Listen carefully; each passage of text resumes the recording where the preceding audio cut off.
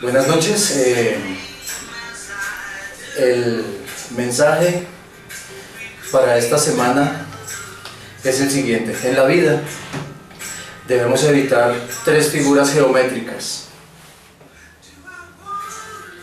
Las mentes cuadriculadas, los círculos viciosos, los triángulos amorosos. Lo imposible no existe, lo imposible es temporal, lo imposible es una excusa. Lo imposible dejará de serlo cuando comenzamos a intentarlo, con fe, con disciplina, con constancia, con convicción, con persistencia. Seremos imparables en la medida que queramos serlo.